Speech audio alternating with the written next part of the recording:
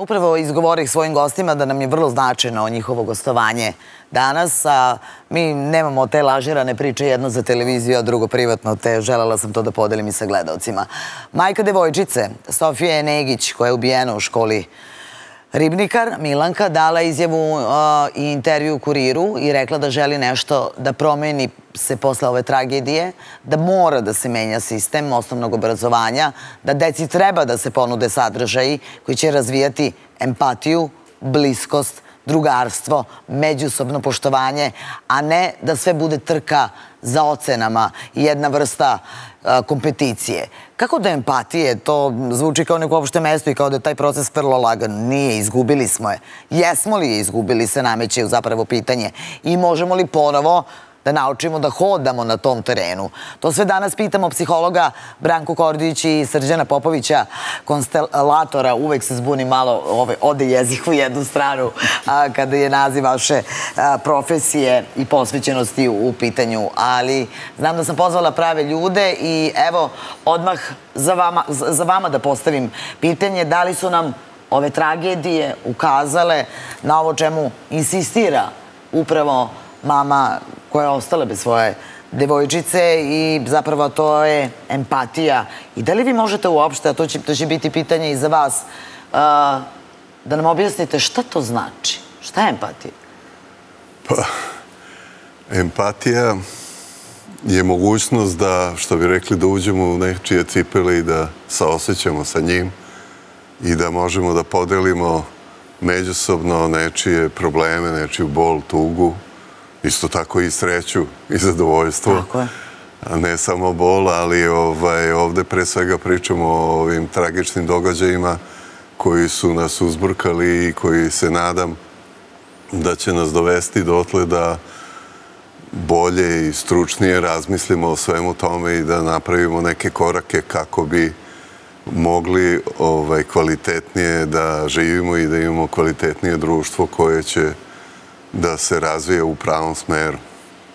Tako da, ovaj... Aha, oprostite, aha. Do empatije ovaj, u ovom trenutku, e, nažalost, neki iz raznoraznih razloga e, ovaj, ne mogu lako da dođu, ali naravno sve se može popraviti.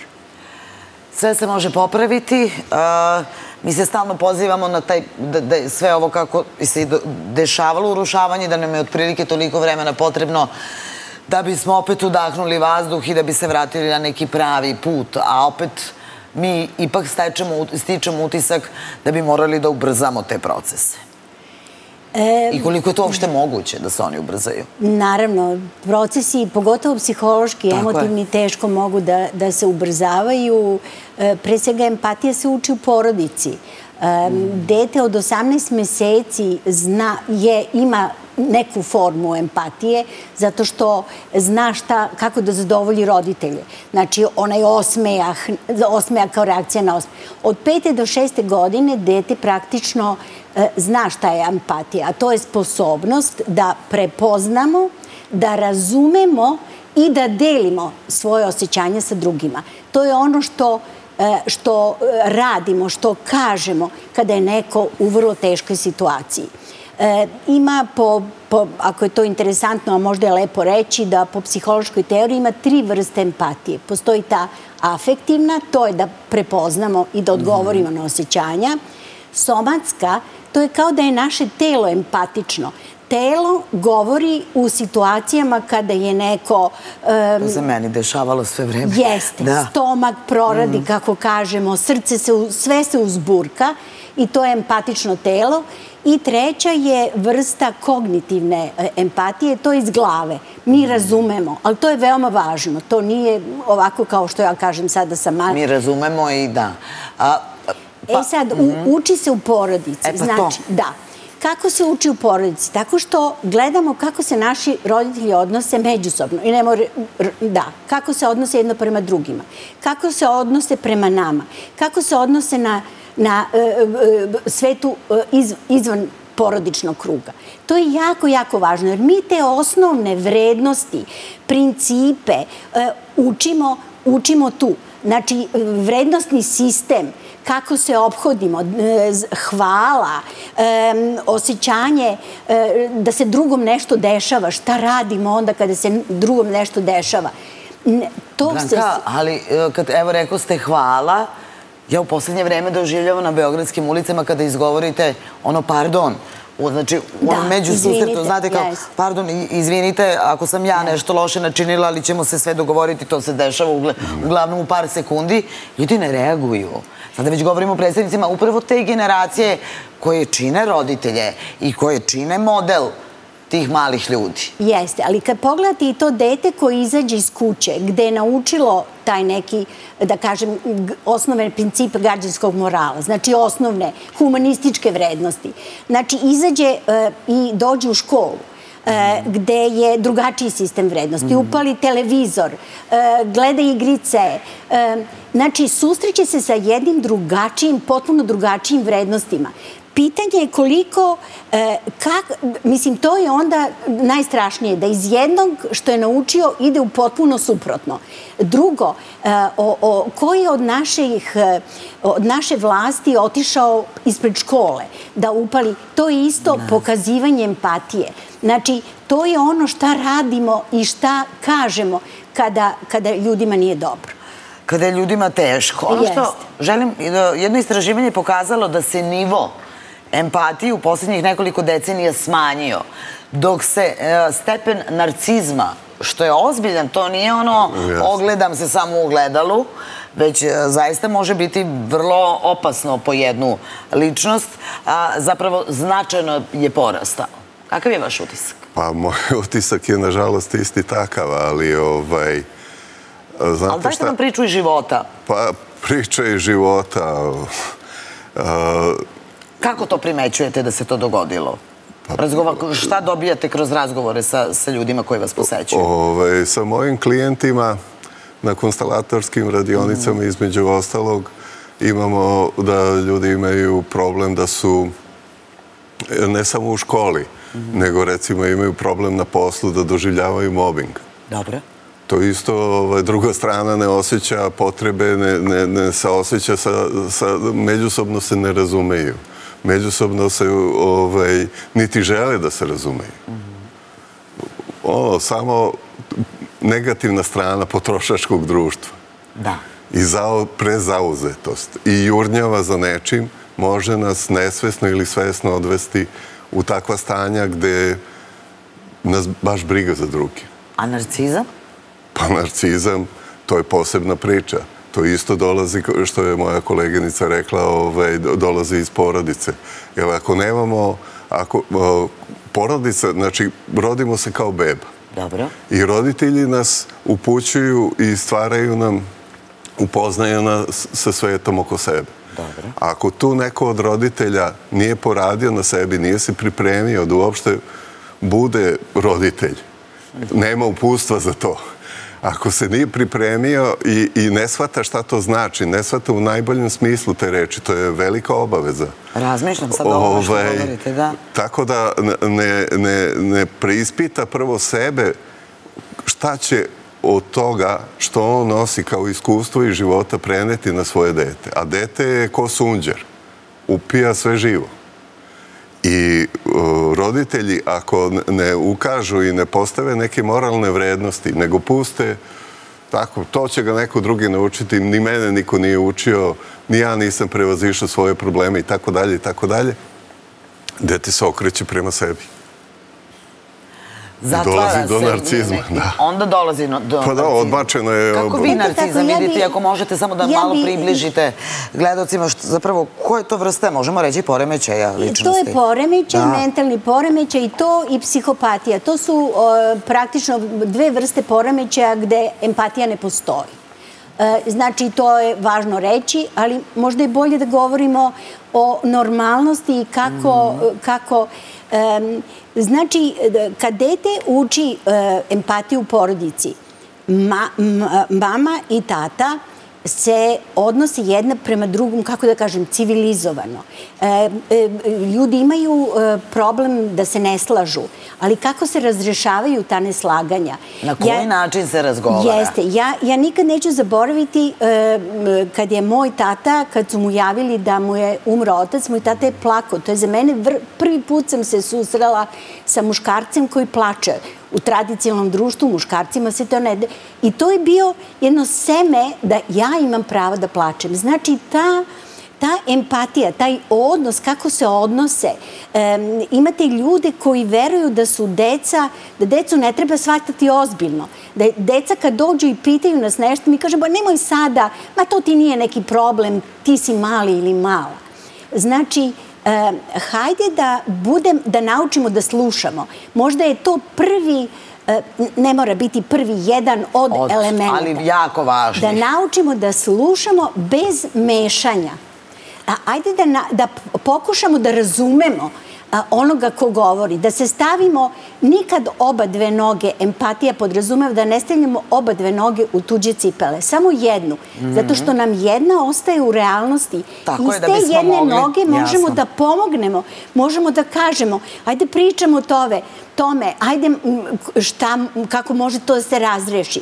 Znači, jedna noga ostaje van te cipele i iz te noge smo u stanju da pomognemo ali važno je da, e, jer inače smo preplavljeni e, sa osjećanjem i simpatijom i onda tonemo, ne možemo da pomognemo. Znači, važno je da nam jedna noga ostane van toga i jako je važno kako roditelji se, e, kakav je njihov odnos. Kako primer daje. Što veća empatija, manje konflikta. Tako je. Tako je. I evo, tu se već nameće pitanje, a sad i na temu svih ovih događanja te genetske predispozicije. I da li genetika ima bilo kakve veze sa empatijom? Pa, genetika ima veze sa svima nama, mislim. Ovaj, ne možemo mi da se, i ne treba da se odreknemo genetskog nasljeđa kroz pa i ne možemo. I ne možemo i ne trebamo. Genetikom dobijamo i dobre i loše stvari. Znači, to ja nikako nikome i ne bi preporučio, makar nam roditelji bili vratni zločinci. Pa da li ne možemo? Ne možemo, ili preci, nije bitno. Znači, to bi bilo katastrofalno za svakog od nas. I ja se bavim konstalacijama gde se vidi da ovaj, transgeneracijski se dosta toga prenosi. Ovaj, a ovaj, gospođa Branka je malo pre rekla eh, da je videla ovaj, prvi put oca da plače i tako dalje. Ja sam iz jedne patrihalne porodice gde Nikad niste vidjeli Nisam video nikad. Ja sam naučio da plačem na konstelacijskim radionicama. Mm. Znači, doživeo sam pa ovaj, doživeo sam toliko, sahranio sam i mhm. oca i majku relativno brzo, izgubio sam ih zbog njihovih bolesti. I čutali ovaj, ste sve vreme, zatvorili ste. Kao ja sam muškarac, tako sam vaspitan. Moj otac bio partizan čovjek i tako ga život odneo. Jasno. I kao vojno lice, kao ti si muškarac, sve ima da plačeš. A to razara. So poštovanje prema njemu. Njega ne krivi, nego je njegov život takav. Ali okolnosti se menjaju. I sada ovaj, druga digresija, znači to je stvar... Šta ste dobili u tom trenutku kada... Olakšanje. Da. Olakšanje, pa to sam hteo da vam kažem. Ovaj, ko ne može da proživljava ni tugu, ni bes na pravi način, to odmah ide od mentalnog zdravlja koje je povezano sa ovom ovim zdravljem odmah ide na srce. Odmah se to reflektuje. Znači, predispozicija za infarkt, dobar dan. Upravo on. Ali postoji to, evo juče čuh malo i Sergeja, bilo je dosta zanimljivih tih izrečaka, mislim na Sergeja Trifunovića glumca, čuh njega, postoji taj kao famous face zapravo to lice poznatosti kada mi, ja kako god budem raspoložena, ja ipak moje komšinici ili svojim gledalcima kada ih sretnem na ulici moram da se osmehnem, iako kod kuće eventualno imam neki problem. Kako to što je lice za javnost, ukoliko se konkretno bavimo javnim poslom, zapravo kako treba napraviti taj kat i vratiti se sebi. Mislim da taj proces ni malo nije lak. Složit ćete se. Jeste. To je, to je ta maska koju nosimo, možemo da kažemo društvena maska. Bila, mm. nije važno. Nije važno da kojom profesijom se bavite. Da, jeste. naravno, ovo sam dala kao lični primjer. Ono što je jako važno je da u životu imamo, eh, da prvo naučimo da svoju tu ranjivost otvorimo. Dobro. E, E, E, da imamo e, sigurne druge gde to možemo da uradimo i čovek može da nosi tu masku. Naravno, e, kad pogledate kriterijum normalnosti, je da možemo da pokažemo sva osjećanja. S druge strane, na što bi to ličilo da idemo ulicom i da zaurlavamo od plakanja ili besa ili bilo čega drugog? Znači, e, e, jedna stvar, druga stvar je da naučimo da kontrolišemo ta osjećanja. Znači, ta maska je neka društveno poželjno ponašanje i e, važno je da imamo u toku dana mogućnost da ono, ono, onaj ono što nam stoji u stomaku, bilo gde u srcu, jeste, da to može da izađe na površinu i da to podelimo. Jer jedan od elemenata empatije je socijalna povezanost.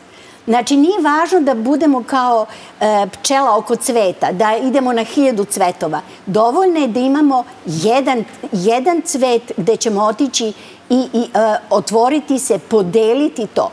To je užasno važno. Postoje, ja mislim da i ptice na grani znaju pogubne efekte socijalne izolovanosti i na zdravlje somatsko, i na mentalno. Ovo upravo što ste vi malo čas rekli da često možete prepoznati koliko je zapravo to povezano stanje svesti, stanje duše, baš to mislim, a sa svim onim što su kasnije zdravstveni problemi. Da, skoro sam imala takav slučaj baš u bliskom okruženju kada je lekar rekao da ovo ovako fizički deluje, a zapravo je ovde mnogo ćutanja bilo tokom života. Kada nema asertivne komunikacije među ljudima, onda je to izvor problema i to non stop generiše problema. Znači, ta komunikacija, jedna je komunikacija... Na površnom nivou. Da, ali i preko Znači, komunikacija, ali da se gledamo u oči. Tada i naše duše pričaju i osjećaju. Razmenjujemo energiju. Ja se bavim energijom. Znači, kad neko gledate u cipele i pričate mu nešto kako se vi osjećate i tako dalje, taj ne može... Šta vam to vama govori? Pa ja to na konstalacijama, na radionicama učim ljude, tamo svako mora da se gleda u oči dok učestvuje i tada osjeti kolika je ta energetska vrednost i mogućnost za empatiju. Nije više tako lako gledati. Pa nije gledati u... Pre je bilo. Pa da, ali smo malo... Ima jedna vežba psihološka. Da, izvinite, nisam empatična, vidite da ne slušam drugog, nego upadam u reč. Izvinite. E, ima jedna vežba psihološka gde e, u grupnom radu, gde e, ljudi stanu jedno naspram drugog, ali ne smiju da progovore ni reč, ne smiju da se dotaknu, samo se gledaju i onda se red pomera i svako sa svakim se tako gleda to je neverovatno kako ljudi ne mogu to da izdrže. Neko počne onako da se smeje, smeje se od napetosti, a ne mm. od toga što je nešto duhovito.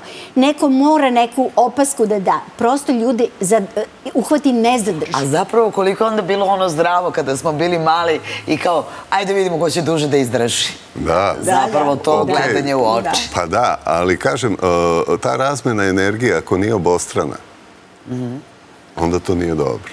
Ako vam znači- se ja sad ne dam, vi hoćete da doprete do mene? Pa da, ali onda nema komunikacije. Nema šta nekome da se da. Nije to počinjenost. Pa dobro, ali složit ćete se da postoje različiti nivoji sada psiholoških prethodnih problema znači, zbog čega smo zatvoreni pa ili nismo. Pa postoje, postoje, ali tu su strahovi. Pre svega, znači, ako sam ja miran sam sa sobom, Treba stići do tog stanja, čekajte, nemojte tako pa to, kao lagano, da. Pa nije lagano, ali, okej, ali ako idem u tom pravcu, Dobro. to nije lako stići. Ali ako se ne krećem u tom pravcu, ako ništa ne radim na sebi, mm. ako samo... Ako ste status quo, jasno. Tako je, ako se ne menjamo, a to je suština priče. Znači, mi dogod, pošto smo tradicionalno konzervativno društvo, imamo problema na svim nivoima. Zato što ne prihvatamo promene. Strašno se bojimo promene. Mi se bojimo promjena, nas život gazi ne menjajući se. Jedno je tradicija, pogrešno shvatamo tradiciju. Jedno je stvar tradicije, To je rekao i a drugo... građana. Danas, da. A, mislim, čovječe, ako se ne menjamo, iako ja ovo neću da menjam, okej, ali budi spreman na posljedice. Moraš da dođem na te vaše radionice, prosto da vidim kako to funkcioniše. Pa to funkcioniše, ili izvinite, sve se, e, samo sa energetskog izvinjavam se, znači, sve se pomera, sve je u pokretu, kosmos je u pokretu. Kad bi nekog pitali, ok, šta se kreće? Ma sve se kreće, i sunce se kreće, i mlečni put se kreće. Ono što hoću da vas pitam, e, postoji jedna definicija sada koja nas vraća, nažalost, na situaciju u kojoj živimo iz dana u dana, to je da psihopatija, potpuno je jasna definicija, mhm, je nedostatak empatije. Jeste, da. Je li to to? Jeste, da. Prava psihopatija koja je isto tako kategorija mentalne bolesti, tu nema psihopatije. Tu mhm. nema empatije. Empatije. Da, psihopati prosto nemaju. Znate šta, nekad se dešava da ljudi deluju kao da nemaju empatiju. Naprimjer, ja često sada dok pričamo mislim na doktore. E, kad treba da saopšte loše vesti, teške diagnoze, znate, treba to prevaliti preko usta, vi ste u terminalnoj fazi kancera, ne možemo, sve smo uradili što možemo. Znači, praktično čovek je prepušten svemiru, ne znam. E, e, to saopštavanje loših vesti, to je, ja mislim da se oni brane, da se brane nedostatkom empatije, jer oni su i učili za nešto drugo, da spašavaju živote i Tako da... E, Zamislite kada bi učestvovali u svakom tom procesu tugovanja i tog bola koji se osjeti u trenutku. Ja imam isto tako utisak da se neki ljudi brane E, tako od preplavljenosti emocijama i od vezivanja i od možda straha od odgovornosti šta će reći, tako što pokazuju nedostatak e, empatije ili u teškim situacijama ljudima govore one najodvratnije floskule. Poput? Poput bit će to bolje, nije to tako strašno, minimalizovanje problema. E, ženama koje su, na primjer, radim na tugovanju, koje su izgubile decu, kažu, ma bit će, eh, mlada si ti, rodit ćeš ti sledeći. Mislim, to je kad smo prosto, to ne mora da znači nedostatak empatije, nego jednostavno, ne znam, ne znamo ili odbrambeni, zapravo neka vrsta odbrambenog mehanizma. U prilici smo da vidimo, ovo će vama biti zanimljivo, snimki iz vrtića u Japanu i Kini gdje deca ulaze u ulogu odraslih i na taj način razvijaju empatiju. U autobusu, ustaju starijima, trudnicama i tako dalje. To je jedan dobar način kada govorimo o tome da empatiju sa kojom smo skoro rođeni, koja je tu prisutna, zapravo da je razvijamo. Tako je. I kroz igru. Tako je. Da. Jer mi smo ljudska bića bez empatije, kao ljudska bića ne bi opstali. Za razliku od životinja koje većina životinja možda živi sama. Najteža kazna, a civilizacija je došla dotle da se ukida smrtna kazna, je samica. To bolje gospođa zna od mene šta znači biti sam, da li mentalno zdravlje ljudsko može da izdrži samoću. Nema šanse.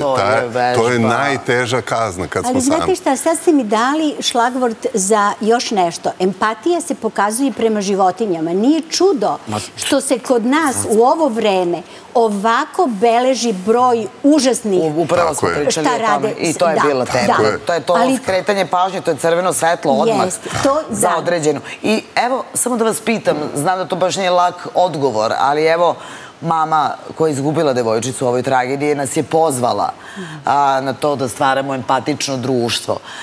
Kako sad, kod tinejdžera koji su se malo zbunili, otišli u nekom drugom pravcu, kako je vratiti i koji bi zapravo bio prvi korak koji moramo da načinimo? Znam da je pitanje... Jeste, to nije za prosto proširenu rečenicu. Znam, znam.